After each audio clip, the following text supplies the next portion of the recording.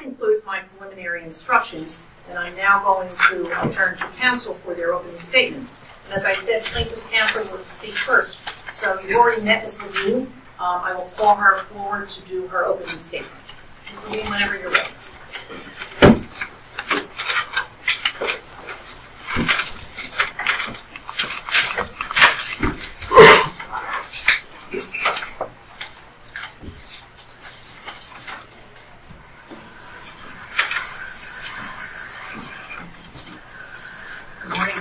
Good morning. May it please the court. Counsel, can't see you guys. Counsel. Ladies and gentlemen of the jury, good morning. It is my honor to be standing here before you. I take this very seriously. I'm a very strong advocate for my clients, Jason and Carolyn Franklin. And I thank you on behalf of Jason and Carolyn Franklin, and on behalf of everyone in this courtroom. Without you, the wheels of justice wouldn't turn. And we need every day in our community. So we thank you for being here, for being willing to listen to the facts of this case and render a verdict at the end after you've heard all of the testimony and you've seen all of the evidence in this case. The evidence will show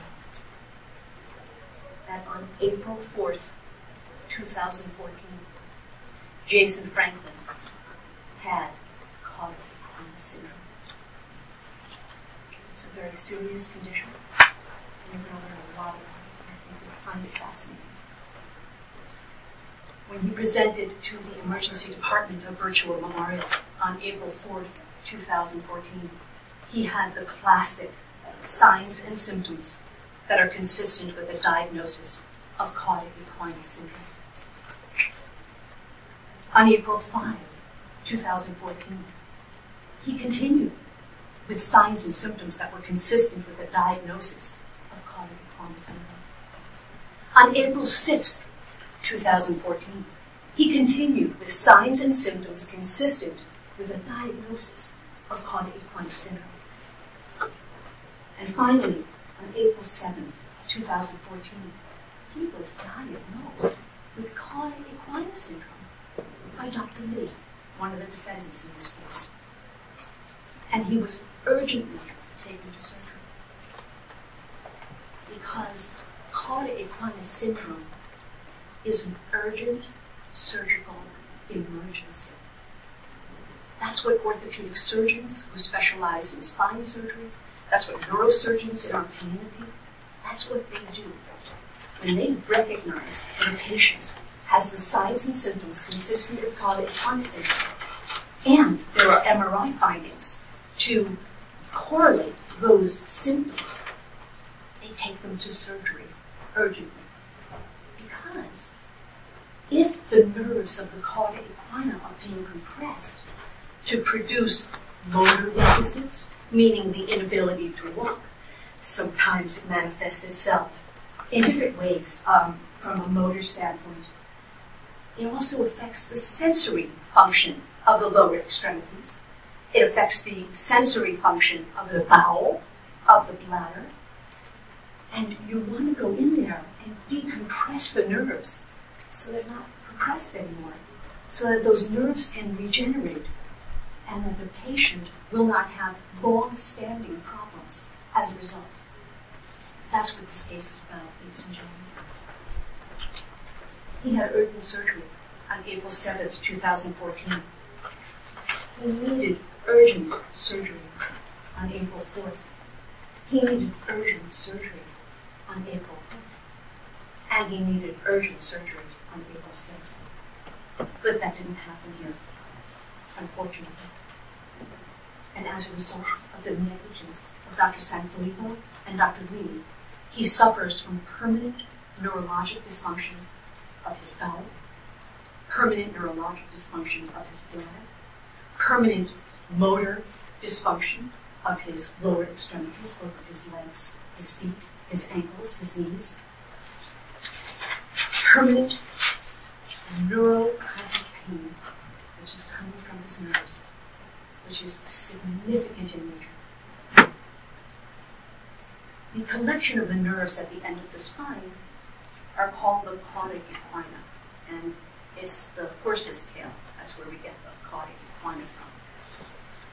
There are red flag symptoms that are consistent with a diagnosis of cauda equina syndrome. And you're going to hear about these red flag symptoms.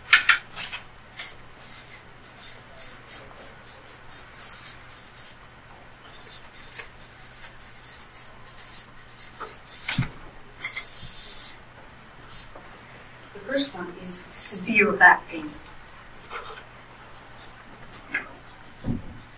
There are many people in our community that suffer from severe back pain that do not go on to develop cauda equina syndrome and that do not need urgent emergent surgery. But this is one of the symptoms that could lead to cauda equina syndrome. Another red flag symptom is motor weakness. The inability to walk. The inability to put your foot down, put your foot up. The inability to actually, this is what happened to Jason on April 4th, the inability to walk down a set of stairs. He was unable to do that. He actually crawled on April 4th, 2014, when the emergency personnel showed up to transport him to Virtua Memorial Hospital. Another red flag symptom is saddle anesthesia. Another reference to the horse's tail. And this has to do with anywhere where you're actually sitting on a saddle. So if you think about it, it's your buttock, it's your groin, it's your inner thighs, it's your whole body. Um, and the anesthesia means that there's no feeling, there's no sensation. So any part that's sitting on the saddle, you can feel. The next red flag symptom is bladder dysfunction.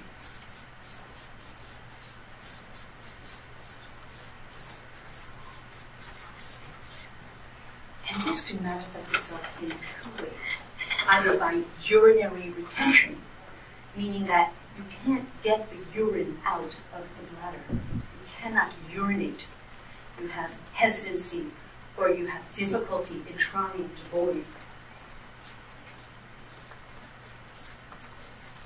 Urinary retention. And that's diagnosed by a bladder scan actually put a machine on your bladder to see how much urine is in the bladder. And that tells them whether or not you've got urinary retention. It's called post void residual, PVR. And you'll see it in. And it's extremely significant for Mr. Franklin, especially on the 4th and on the 5th. Another way that the bladder could dysfunction is by incontinence, which means that you can't hold your urine when you have abstinence. The same thing for bowel dysfunction, which is another red flag symptom.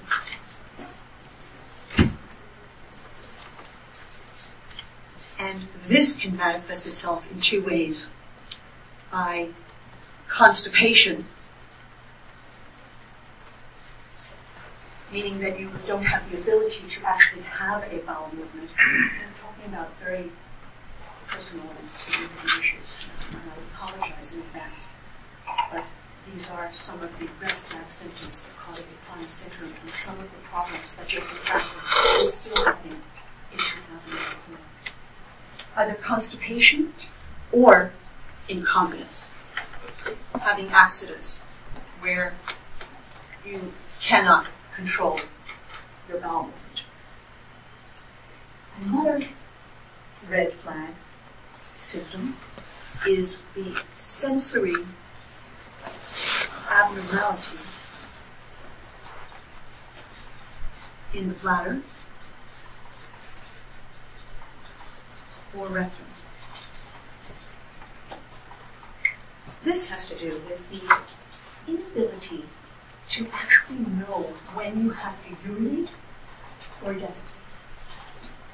And the last one is sexual dysfunction.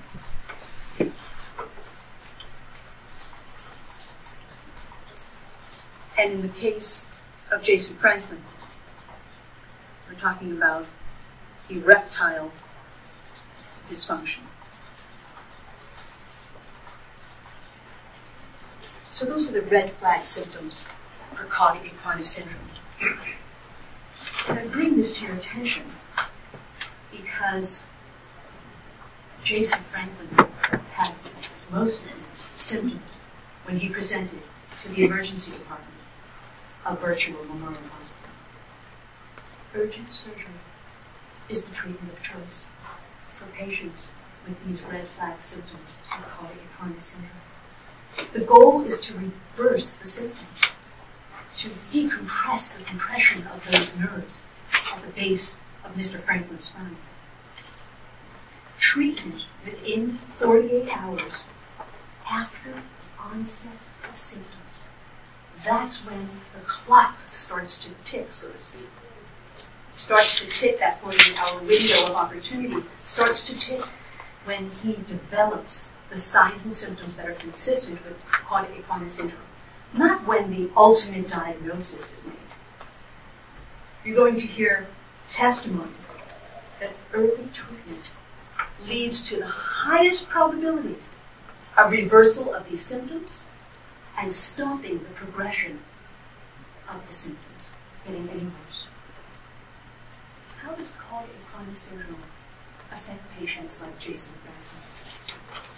you're going to hear testimony that Mr. Franklin's chronic syndrome has affected him physically and emotionally. You're going to hear testimony that since April 4th, 2014, Jason has been unable to return to work. He was a forklift operator at IKEA for 13 years,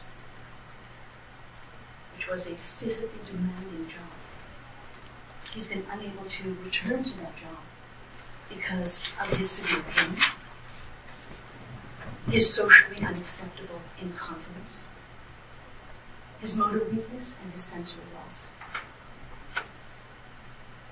You will hear testimony that Jason's loss of bowel and bladder control can be extremely distressing and has impacted negatively on his social life his work, and his interpersonal relationships.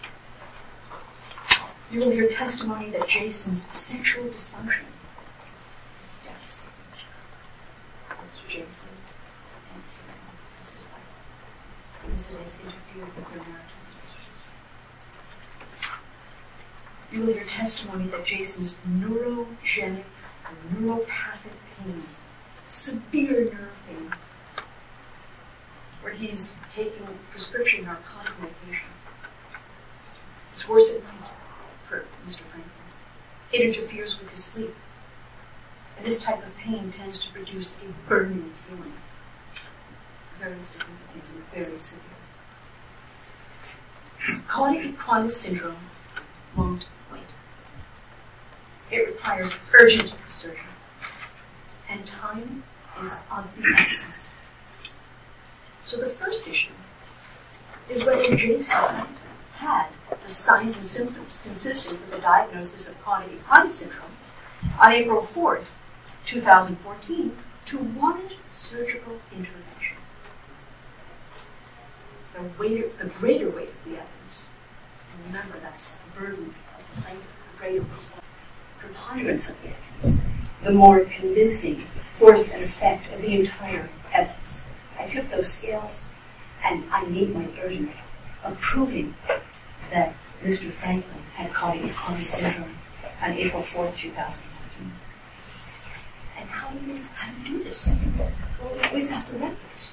We actually have the chart from the emergency department of Virtua Memorial Hospital from April 4, 2014. So we can see what he was complaining of what he was telling the healthcare providers that he came under the care of pertaining to his signs and symptoms. And we actually, it's, it's, it's, it's, it's perfect because we have the chart from March 30th, 2014, to compare to April 4th, 2014. Because March 30th, 2014, he goes to April.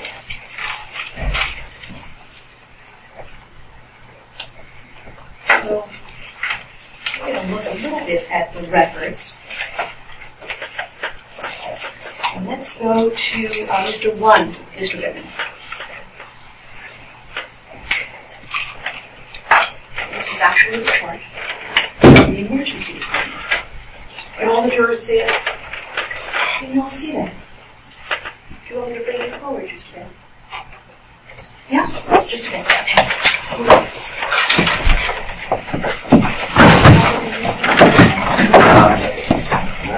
We're gonna have to move this over, so it's fine.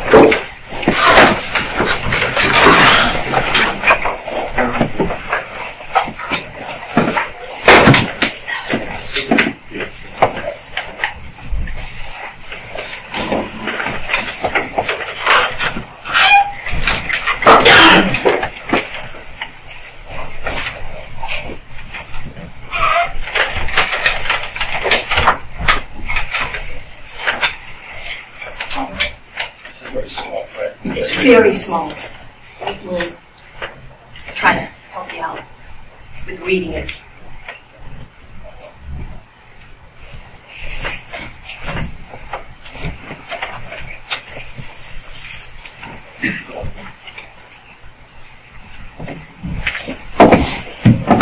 March 30th, 2015 is a Sunday.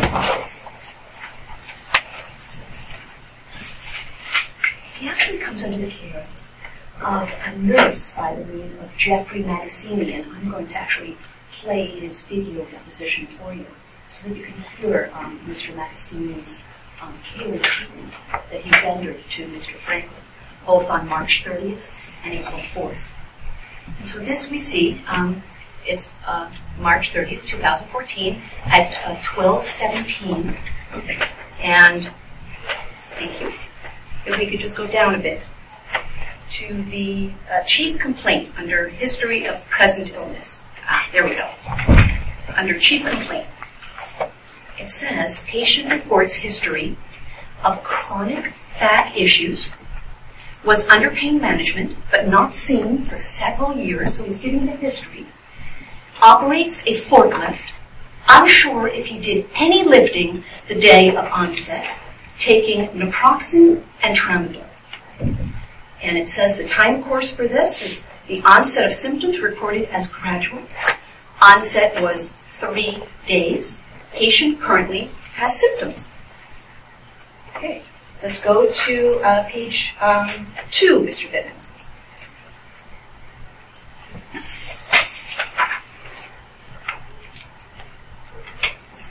And there's a physical examination that's performed on March 30th, 2014. And according to the back, there is no CVA tenderness, which we'll, we'll discuss. Normal inspection. There is paraspinal tenderness. There is paraspinal tenderness in the lower back. Patient lie, lying on side on bed. Looking at the lower extremity, the inspection is normal, and he has a normal range of motion.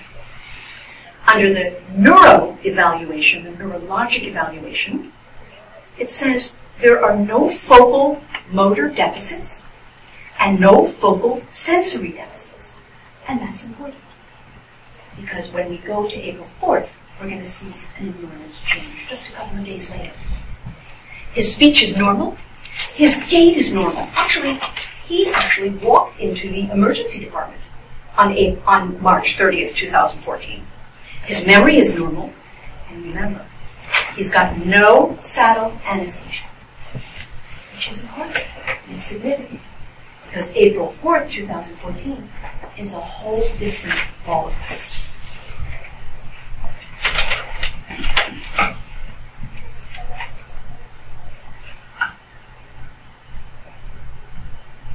The chart goes on. He's actually discharged home with some medication, and he is told to follow up with a specialist. And that's exactly what he does. He follows up with his pain management doctor that he had seen years ago, Dr. Gupta, who administers a steroid injection in his back on March 31st, the next day. He continues to decline that week until April 4th.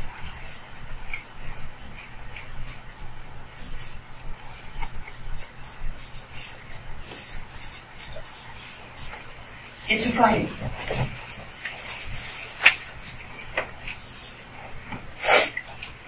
Jason wakes up in horrific pain. He cannot move, he can't even get out of bed. He calls Dr. Gupta's office, and they tell him to go to the emergency based on what he discusses with them. And he does. He calls 911. The emergency personnel arrive at his home and realize that he's on the second floor. They come up to the second floor and they try to carry him out on the stretcher in a seated position. But it's so painful for Jason. He decides he's going to crawl down the steps. He has, and it's documented in the emergency um, record. He crawls down the steps. They finally are able to put him on a stretcher and transport him to the emergency department at Virtua Memorial Hospital. There is a significant change in his presentation from just a couple of days ago.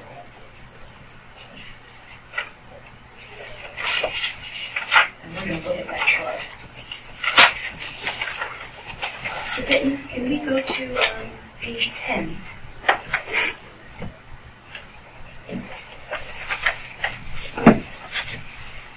Start with page. And now we're talking about April 4th, 2014. He again comes under the care of Nurse Magazzini. This time, we've got the chief complaint. Patient with long-standing history of chronic back pain, for which he sees a pain management doctor, presents to the ED for the second time in a week. Oops. Oh, okay, there we go. Oh, it's a little better. Great, thank you. Um, in a week with complaints of exacerbation of his chronic pain. I saw this patient on his last ED visit and referred him, feeling some relief, back to his PMD, his primary care physician. He reports having seen them on Monday, and we know that's true. He, he went to see Dr. Gupta on um, March 31st and given an epidural, which helped for a short period of time. Short time period. Over the past two days, so that means if it's April 4th, April 2nd, pain has increased and is now, on April 4th, associated with saddle anesthesia. So now we've got increased pain, saddle anesthesia,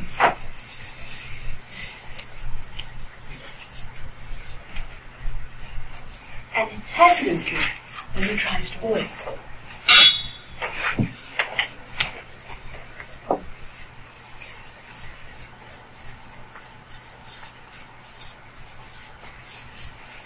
No relief with his current medications.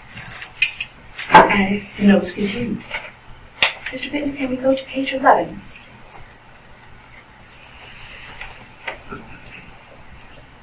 And a physical examination is performed.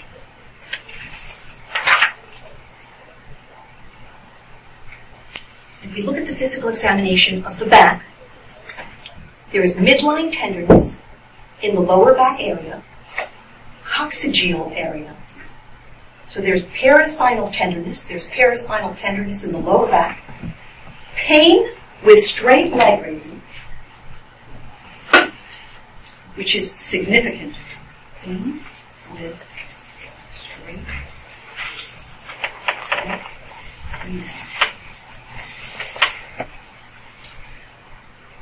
on the left, on the right. Decrease sensation in his buttock.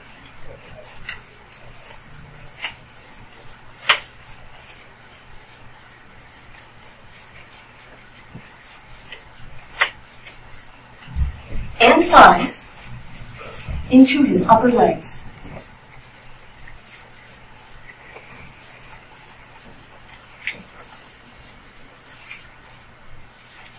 He has sensation in his feet, but he's complaining that his lower extremities are feeling cold.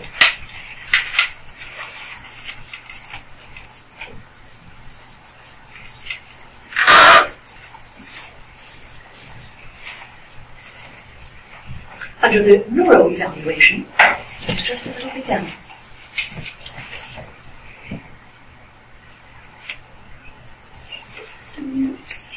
I think we just passed it. We could just, oh, there we go. Okay. Under the neuro, which is just, okay, perfect. Thank you. There are no focal motor deficits. His memory is normal. There is a sensory deficit in his left hand and a sensory deficit in his right leg.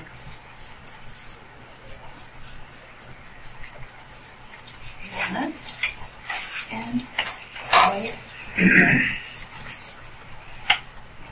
Patient to ED, patient to the emergency department, by EMS, unable to ambulate.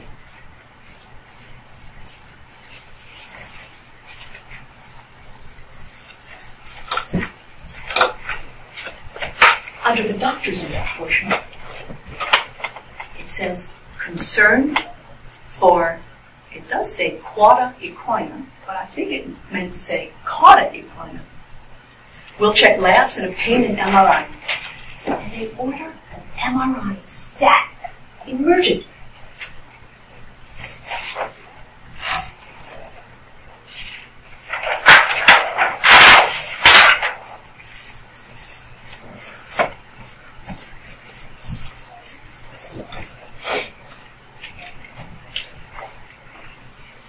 And Mr. Whitman, if we could go to page 14 and go to that MRI of the lumbar spine, of the low back. This was done on April 4th, 2014 at 1526, which is military time, and that is 3.26 p.m. in the afternoon. And if we could go down just a bit, and we could stop right there. At L3 and L4, there is central protrusion of the disc, resulting in severe central canal stenosis. Stenosis, you're going to learn, and, and I'm bringing in a neuroradiologist to discuss this film with you and explain the really important, significant findings on this film. Severe central canal stenosis is the narrowing. It says at L4, L5, so that's at L3, L4. L3, L4. There's a central protrusion of the disc. And that's resulting in severe central canal stenosis. Now we go to L4, L5, which is just a little ways down. There is also a central herniation of the disc. And you're going to learn all about the anatomy of the disc.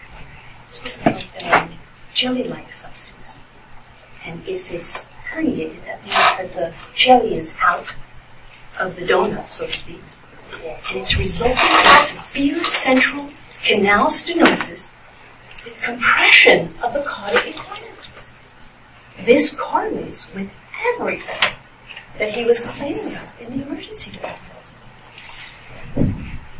So there's a central herniation of the disc, resulting in severe canal stenosis with compression of cauda equina. His nerve roots are being compressed. It's consistent with the diagnosis of cauda equina syndrome. that requires urgent emergent surgical intervention. Right then and there, April 4th, 2014.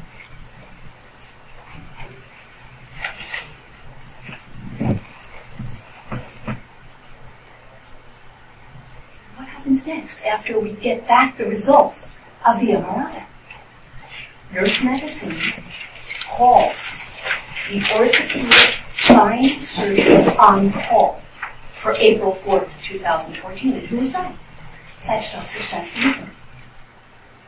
He's home by that time. And according to the note, if we can go back, Mr. Bittman, to page 11.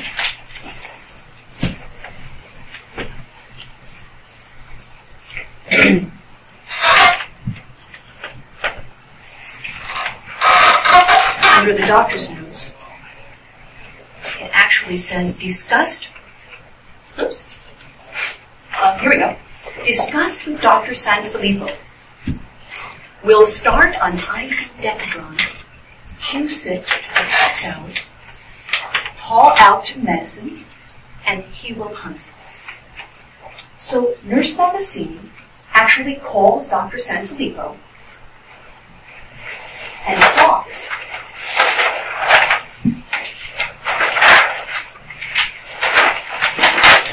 about everything that we see in this chart.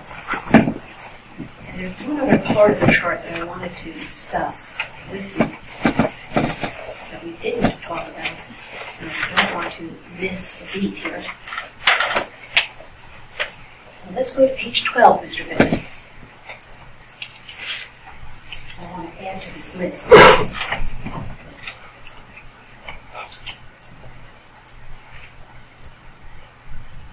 Under the nursing assessment, under the back, patient complains of pain to lower back. Patient described as sharp. On a scale of 0 to 10, patient rates the pain as a 10.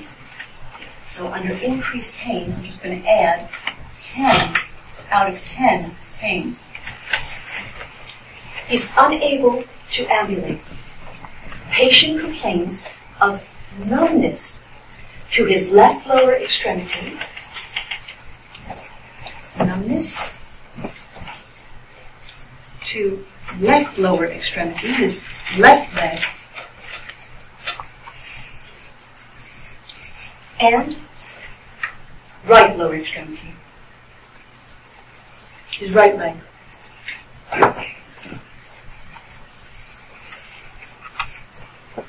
He reports difficulty urinating.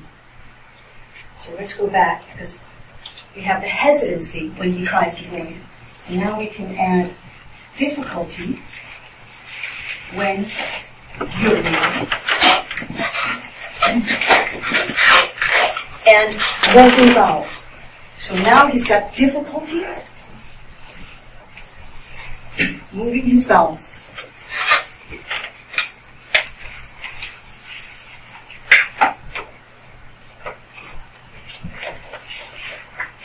One more thing I want to draw your attention to, ladies and gentlemen, is on page 13 of this emergency department chart.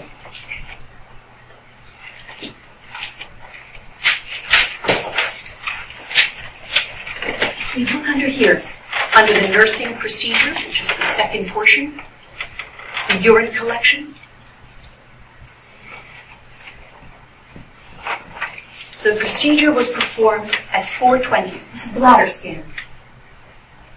Midstream clean catch, amount 20 mLs. Bladder scan performed and shows that he has 375 milliliters of urine in his blood.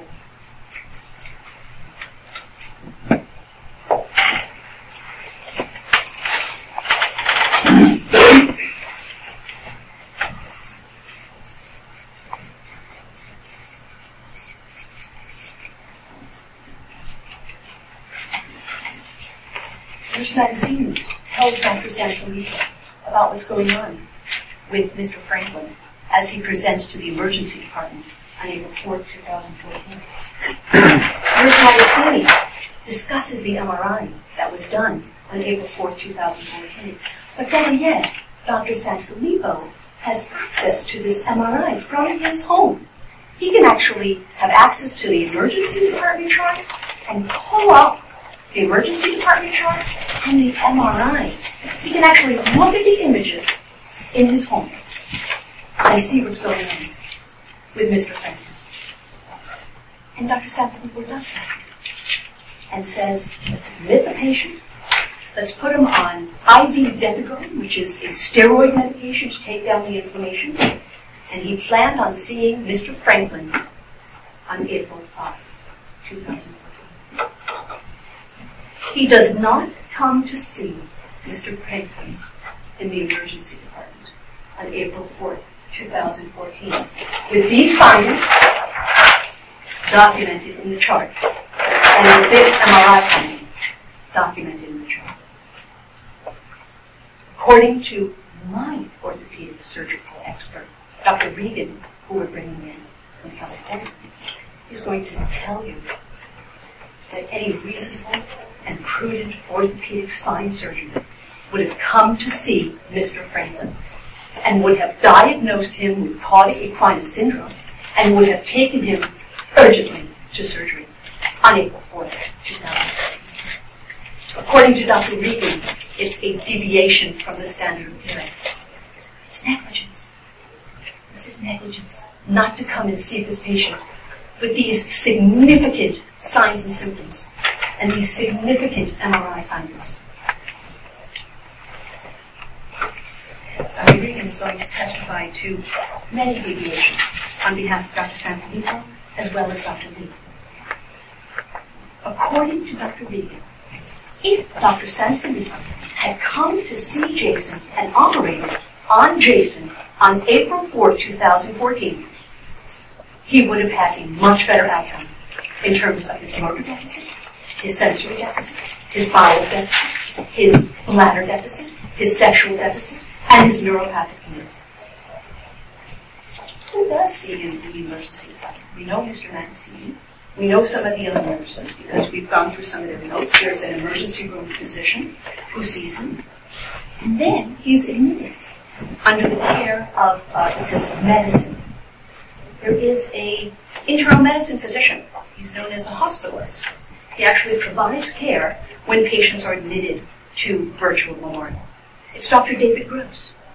And hopefully we're going to get to have him come in and talk about his uh, care and treatment. Once Mr. Franklin is admitted on April 4th, 2014, he comes under the care of the nurses at Virtua Memorial. They see him, they assess him, they document in the chart what's going on from a physical standpoint with Mr. Franklin. And hopefully we're going to hear from many of those nurses who rendered care to Mr. Franklin on April 4th, April 5th, and April 6th. So we get to April 5. April 5. The next day, Jason's admitted. He spends the night in the hospital. He, he's not taking a surgery. April 5. In the morning, Dr. Sanfilippo comes to see Jason. He actually now has another opportunity to review the MRI images, another opportunity to look at the emergency department record to see all of the symptoms and signs that were documented by Nurse Mancini. And what does he do? He does a physical examination and he documents that he's got a five out of five motor strength. Which is normal in his lower extremities. He also documents in his chart that he has a normal rectal tone. He actually does a rectal examination. Normal rectal tone.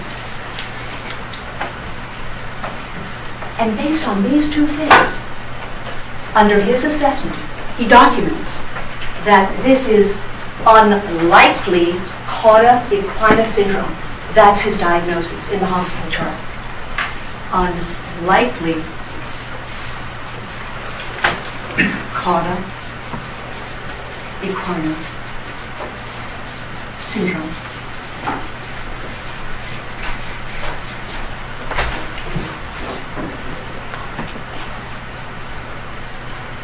He also documents questionable, question mark, question mark, urinary retention.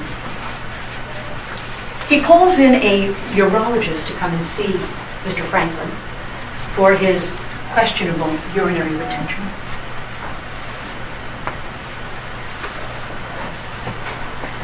What else does he document? He does document that he has bilateral leg numbness.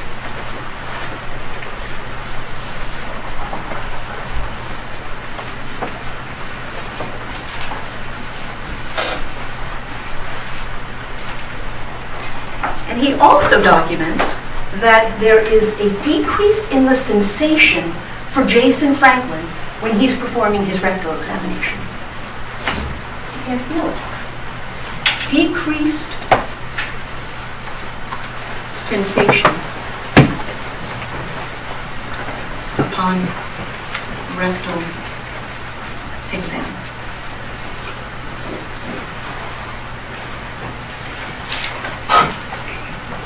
He diagnoses unlikely cauda equina syndrome on April 5, 2014, and does not take Jason to surgery. According to Dr. Regan, this is a deviation from the standard of care. Mr. Franklin had cauda equina syndrome on April 5, 2014, and should have urgently, that day, April 5, been taken to surgery to decompress the nerves of the cauda equina to give them a chance to heal. But because he says unlikely cauda equina syndrome, he doesn't take Jason to surgery. There were other healthcare providers who saw Jason on April 5, 2014. Hopefully, you'll hear from Dr. Azroff, the urologist in this case, who diagnoses him with acute urinary retention. April 5. Acute, not chronic, not long-standing, but acute, having happened right then and there. Acute urinary retention. And how does he diagnose that? He does another bladder scan. And this time, the bladder scan shows that he has 614 cc's of urine in his bladder. Based on that, 614 cc's on bladder scan. And based on that, they put in a Foley catheter, which is a tube inserted to drain the urine from his bladder. And once they put the Foley catheter in, another 400 cc's come out.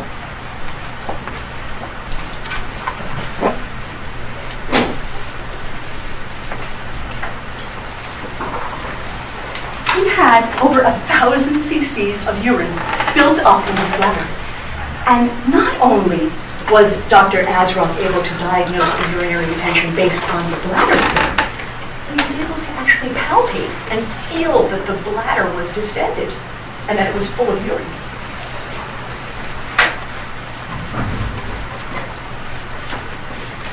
This is at the same time that Dr. Sanfilippo says unlikely cauda equina syndrome. This is the same time when Dr. Sanfilippo fails to take Jason to surgery on an urgent basis on April 5, 2014. He actually learns, according to Dr. Aswell, that when Jason moves suddenly, he leaks urine. When he moves suddenly, he leaks urine unintentionally. We also will hear, hopefully, from the nurse who provided care on April 5, 2014. He documents that Jason is incontinent, just like Dr. Azralson. He's incontinent.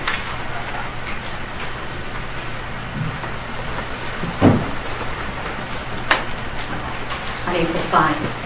2014, and his right and his lo- left lower extremities are numb. Dr. Gross, the hospitalist, comes to see Jason every day. He follows him in the hospital. April 5, 2014, Dr. Gross comes right after Dr. Sanfilippo and actually says that now his numbness is getting worse. He's getting worse. Numbness is worse.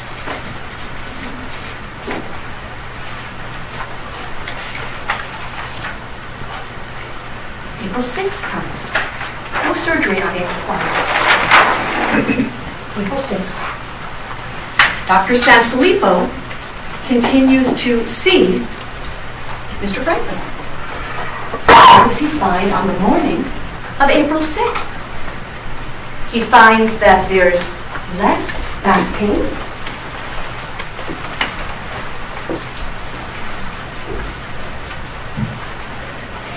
and less numbness.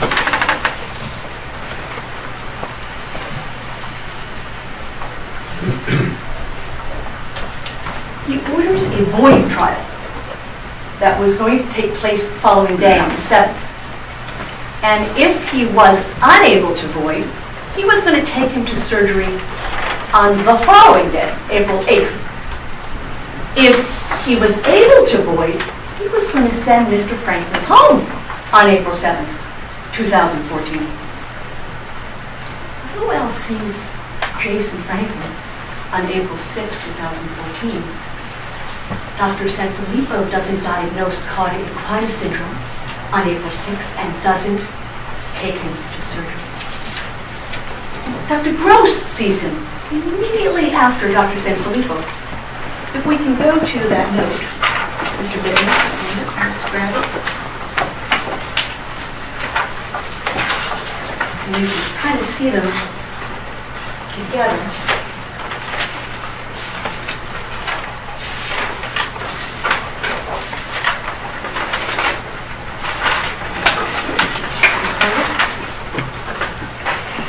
Here it is.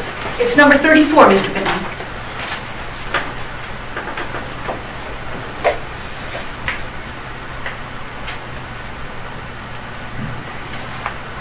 We see on top, this is on April 6, 2014, um, at 8:10 in the morning. This is the orthospine, this is Dr. Sanfilippo's note, where he documents decrease, that arrow, in low back pain, LBP, and decrease in numbness. Now, if we can just go up a bit, Mr. Bittman, to the, to the, oh, I'm sorry, down, sorry, to the following note by Dr. Gross, and this is interesting. April 6, 2014, you can stop, thank you, complained of foot numbness is worse, worse. So Dr. Sanfilippo says that there's less numbness, and Dr. Gross says the foot numbness is worse.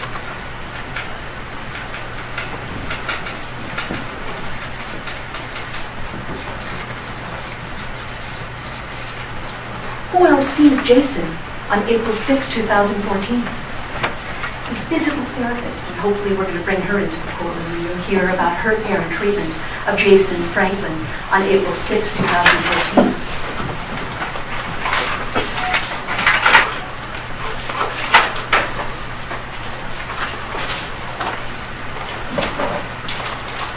Her name is Venetia Kokinas.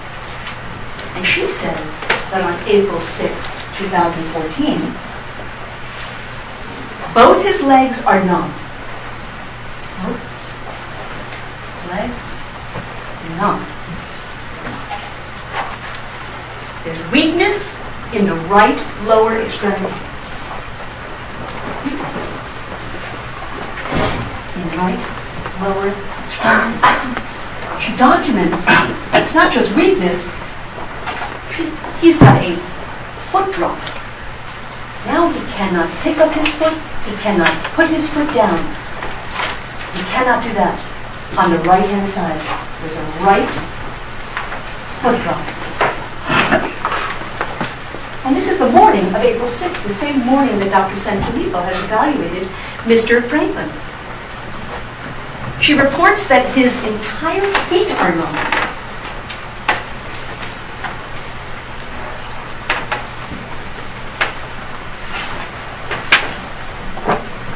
And he's using a rolling walker to walk and to help him ambulate. And that he needs assistance to ambulate him, to walk. There's no surgery. And listen, he's now he's getting worse. He's now got a right foot drop. His foot numbness is worse. No surgery on April 6, 2014. No diagnosis of chronic equina syndrome that would require urgent, emergent surgical intervention on April 6, 2014. And you're going to hear from Dr. Regan this is negligence. This constitutes a deviation from the standard of care. Now he's getting worse, and there's no surgery, and there's no treatment, and there's no relief for Mr. Franklin.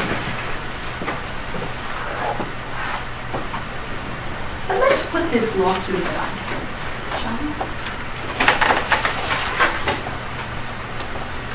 Let's take the litigation out of the equation.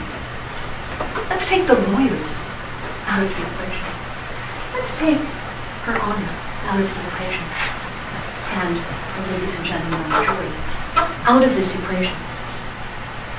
What was Dr. Sanfilippo's diagnosis that he charged for on his medical on April 5th and April 6th? We got that bill.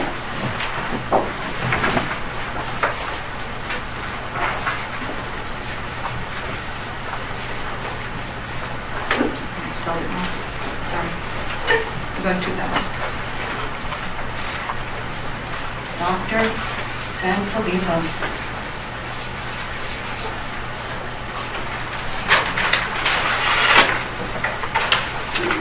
On April 5th, 2014, according to Dr. Sanfilippo's and Dr. Lee's bill uh, for the services that they provided to Mr. Franklin during this period of time, April 5th, 2014, his diagnosis is lumbar, spinal stenosis, cauda equina syndrome. Cauda equina syndrome. And that's for April 5, 2014. Cauda equina syndrome. But he never took him to surgery. He never acted on that diagnosis that he billed for. The bill continues for April 6, 2014.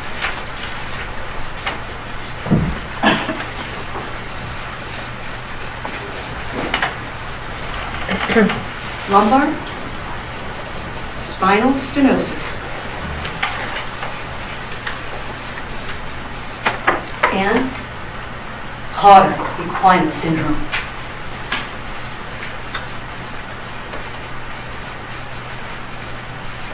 That was the diagnosis that he billed for, Dr. Sanfilippo.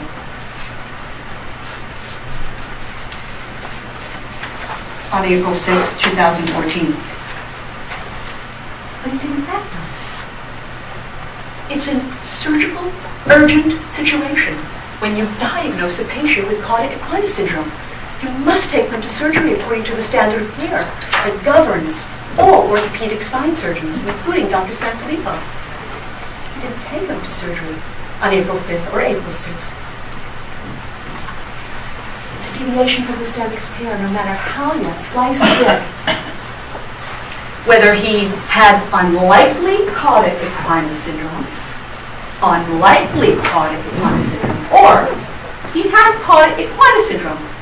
The fact of the matter is, this man was an urgent, surgical emergency. And he was never taken to surgery. But Dr. Sanfilippo used that diagnosis in his billing for his services of Jason Franklin.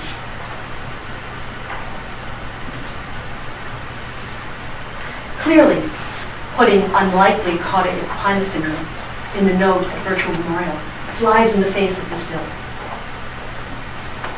He had cauda equina syndrome. Dr. Sanfilippo diagnosed him with cauda equina syndrome. Dr. Lee comes into the picture on April 7, 2014. I'm talking, this is day four of cauda equina syndrome for Jason Franklin.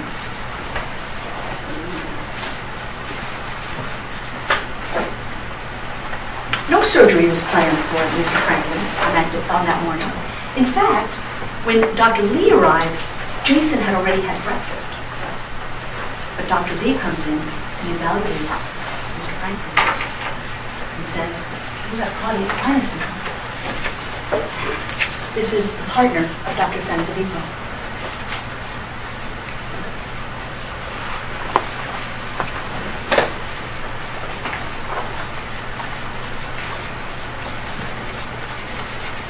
And notwithstanding the fact that he had breakfast that morning, and if he was taken to surgery, it could be a surgical risk, an, an anesthetic surgical risk, because um, patients who undergo surgery are not supposed to have eaten anything uh, for the fear and the risk of um, aspirating the food that they have um, ingested.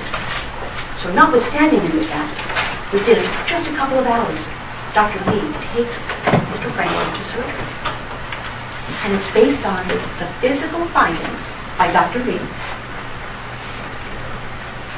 And it's based on the MRI from April 4th, 2014. They don't repeat the MRI. He uses the MRI from four days previous to determine that Mr. Franklin is a surgical urgent candidate. MRI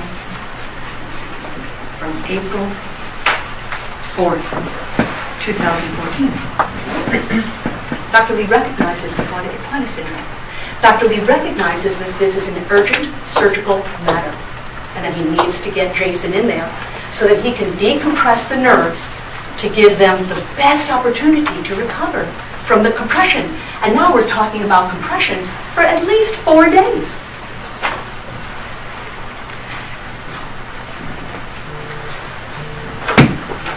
And we'll talk about everything that was done during that surgery. But unfortunately, when Jason wakes up on April 7th, 2014, he now has a change in his medical condition. He got worse. He now has a foot drop, not only on the right, but now he's got a foot drop on the left. Left foot drop after surgery. So what does Dr. Lee do? He orders an MRI.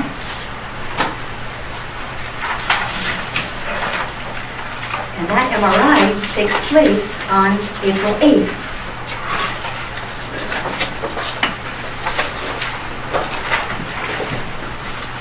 It's number 44, Mr. Bittman.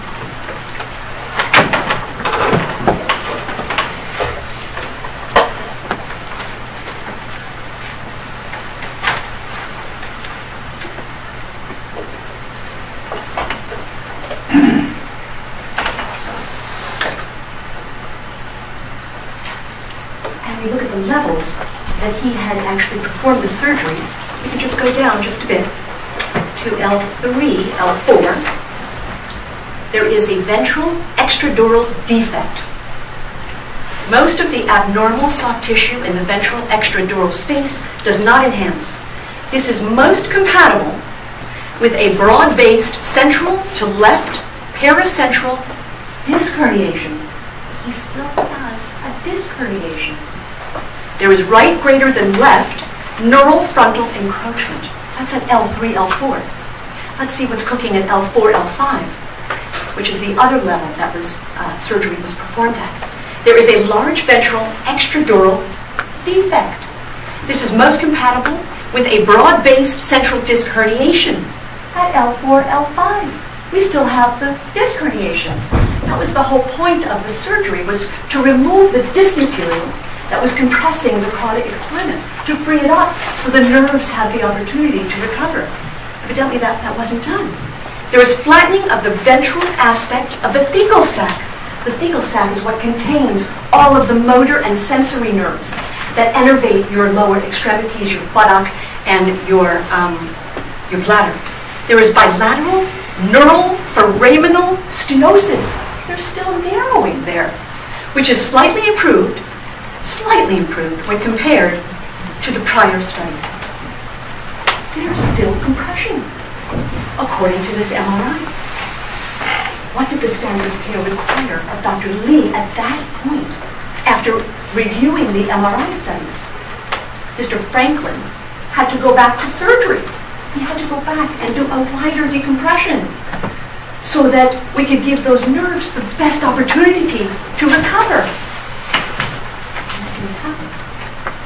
And according to Dr. Regan, that's a deviation from the standard.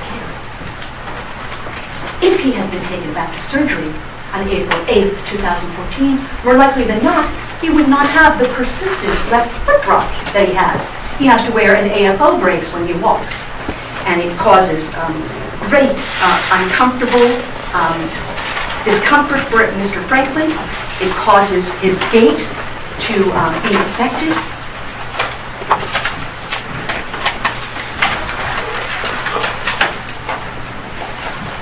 Dr. Regan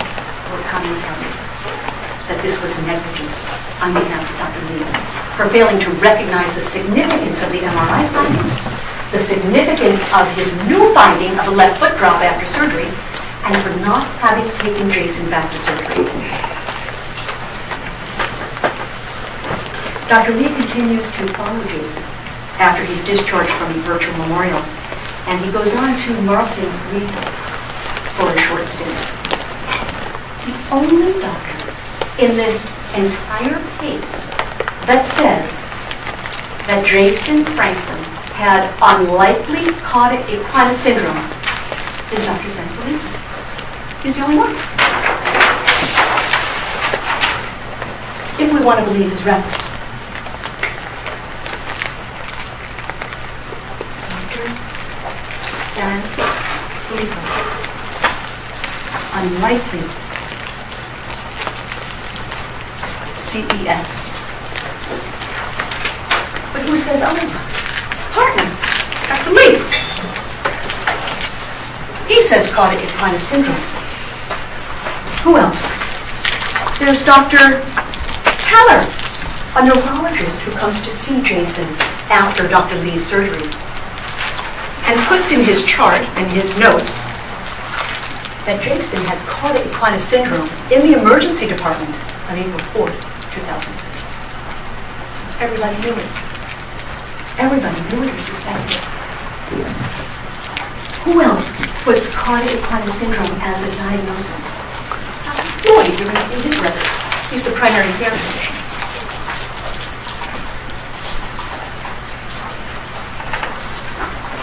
Dr.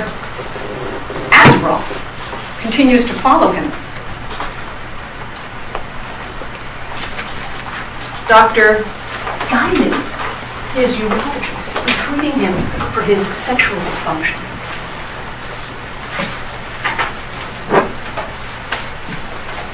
Dr.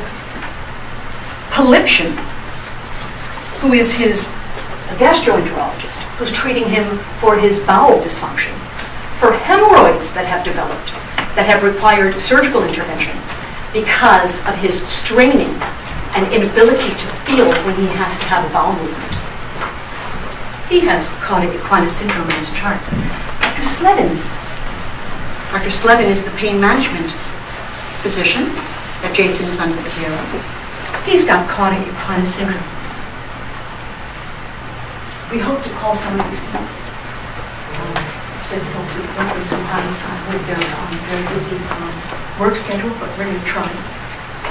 They are providing care for Jason for his permanent bowel and bladder dysfunction, his permanent loss of sensation, his neurogenic pain, his erectile dysfunction, and his loss of his motor function. The plaintiffs have, have hired experts to testify to some of the damages that Jason and Carolyn are claiming in this case as a result of the negligence of Dr. Sanfilippo and Dr. Lee. Dr. Regan, we're going to hear from him. According to him, Dr. Sanfilippo deviated from the standard of care by failing to see Mr. Franklin in the emergency department on April 4th. By failing to recognize the signs and symptoms consistent with cauda equina syndrome, which required urgent, emergent surgical intervention by failing to diagnose Mr. Franklin with cauda equina syndrome, by failing to surgically intervene in a timely fashion, and failed to recognize worsening of Mr. Franklin's medical condition on April 6th and the need for urgent, emergent surgical intervention. Dr. Regan is going to testify as far as Dr. Lee's deviations from the standard of care. According to Dr. Regan, he performed inappropriate surgery on April 7th, 2014, which exacerbated, made Mr. Franklin's condition worse by not adequately decompressing his spine during the April 7th, 2014 surgery, by failing to recognize Mr. Franklin's worsening symptomatology postoperatively, requiring additional surgical intervention, and failing to perform additional decompression surgery.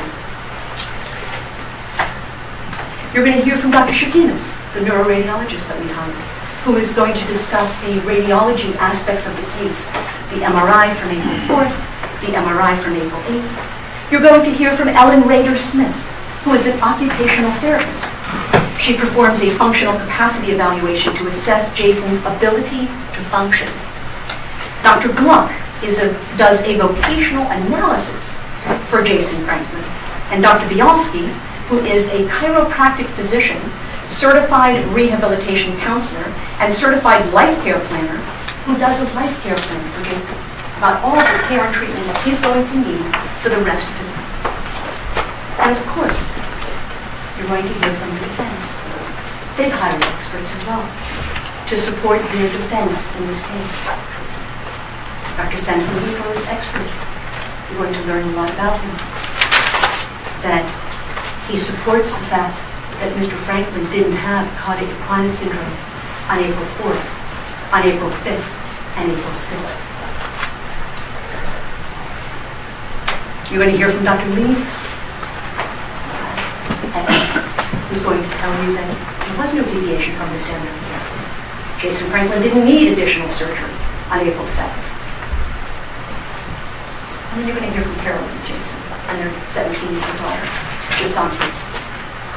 You're going to hear from some of the friends of Jason and Carolyn to discuss how this has affected their lives and will continue to affect their lives into the future.